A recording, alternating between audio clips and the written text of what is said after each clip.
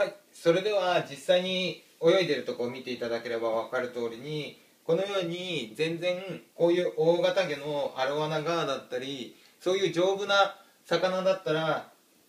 そのままほぼ浸水新しい水でやっていただいても全然大丈夫です。本当に弱ってたりしない限りはもうお店で買う時点ですごいピンピン元気でいれば全然新しい水でこのように飼っていただいても全然問題ありません。で最初にとセットをするのが多少面倒くさいかもしれないですけどもこの流れでビこの YouTube 見ていただいてやっていただければすごく簡単なんで説明書だけだとわからない部分があったりしますけれども YouTube で実際あの画像を見動画を見ながらなんでセットはしやすいと思います。で多少なりと